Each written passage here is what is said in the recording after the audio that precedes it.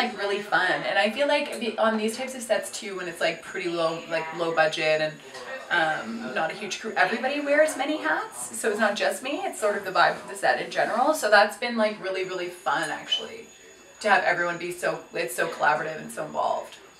Um, because my mom and I work together so much, it feels normal.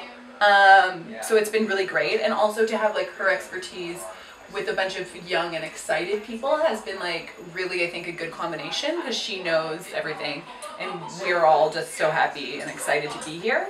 So it's been like, it's been really fun in that sense. I have to go get my makeup one sec. Um, okay. It's 50-50. A lot of the stuff is true, um, but a fair amount is obviously like embellished and made more interesting for camera. Um, but I think so, like, I think the craziest shit is true, actually. That was a wild summer. Went out on Friday night, because we basically spent the entire week pretending to be out having fun and partying, and then we were like, hey, why don't we actually go out and do that? It's a very accurate portrayal of, uh, you know, young women trying to figure things out and screwing up and realizing that that's okay, that you're allowed to screw up and that you'll figure it out.